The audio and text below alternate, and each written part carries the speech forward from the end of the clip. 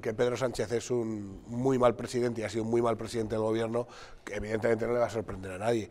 Pero yo creo que es que en España las ideologías se han roto, por lo menos por la parte de la izquierda. O sea, Pedro Sánchez no es eh, el Partido Socialista. Pedro Sánchez le importa a Pedro Sánchez.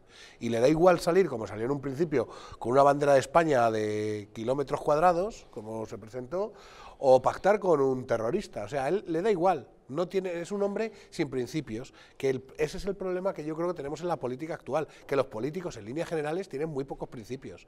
Entonces convierten la política o lo que debe de ser la discusión de ideas, que puede, que puede estar bien. Sí, sí, no, no, generalizo. Yo, yo, generalizo. excepto, excepto en honrosas excepciones, como puede ser Borja, pero claro, yo no, yo he de decir que no le miro con, con los mismos ojos que a los demás.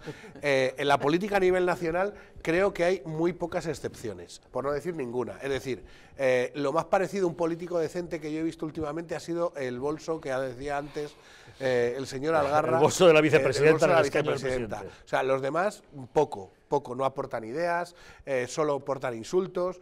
Tú ves un, cuando habla un un portavoz y lo único que ves detrás son a 27 palmeros haciendo el tonto y riéndose sin, sin que haya una frase o, sin que haya un intelecto detrás por parte del portavoz que habla.